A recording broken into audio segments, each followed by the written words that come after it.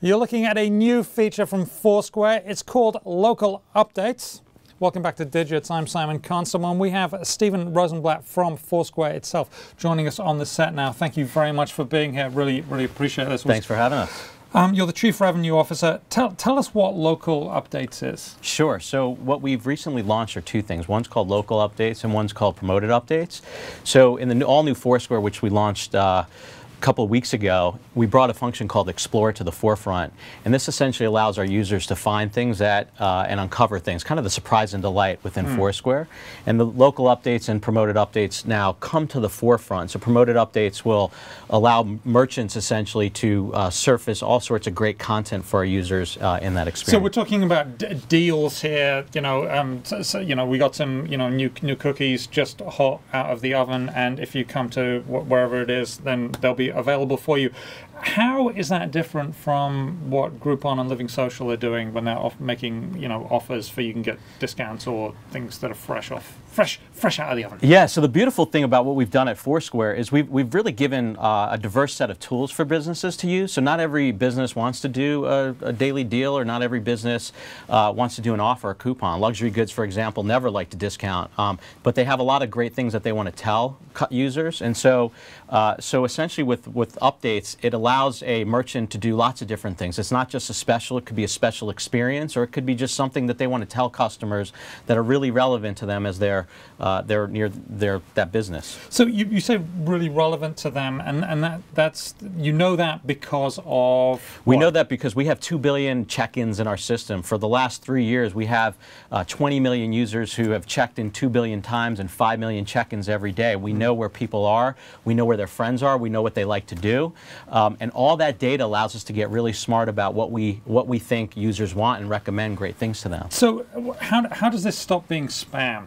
Right? You, you understand if you're getting a lot of stuff, sure. and, I, and I and I get stuff that I, I used to think I'd like to get, and just email, just email that is nothing. Oh, that's great, I'm getting yeah. that, and then you know a year later I'm still getting it, and I hate it. Yeah, I hate it too. Yeah. So the you know with Foursquare, it's it's an opt-in experience. You open up the app, you go on your phone, you open up Foursquare, and there you are searching for things while you're out and about. Mm. Uh, we're all about connecting people with places, right? So when you're out looking for things in the real world and trying to figure out what you want to do next, where you want to go, where you want to shop, you go into Explore, you search for things, and there merchants uh, can provide all sorts of different, again, compelling mm. content mm. for our users. So it's an opt-in experience. You're not, uh, and, and you're actually going in, you're opening the app, you're finding so things versus getting things that just are getting pummeled at you. Which they do for a lot, a lot of people. Um, so Foursquare has evolved, right? Like like any good tech company, it's tried some stuff. It's it's gone as a.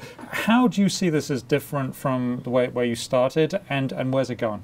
Yeah, I think you know what what we've really done over the last three years is you've seen the evolution. So we started out really pioneered the concept of a check-in, um, and really again as a mobile-first company with this social layer uh, at its core, we started out where people were checking in. They they really enjoyed the ga kind of mechanics of Foursquare. Mm. But that's really evolved now uh, after three years, where we have, again, all this data about what people like to do, where they like to go. And we're starting to really make some um, recommendations to people before, and, helping them uncover new things when they're out and about in the, in the world. So, you know, our goal is to help you and your friends make the most out of where you are. And I think that's where we're really going with Foursquare.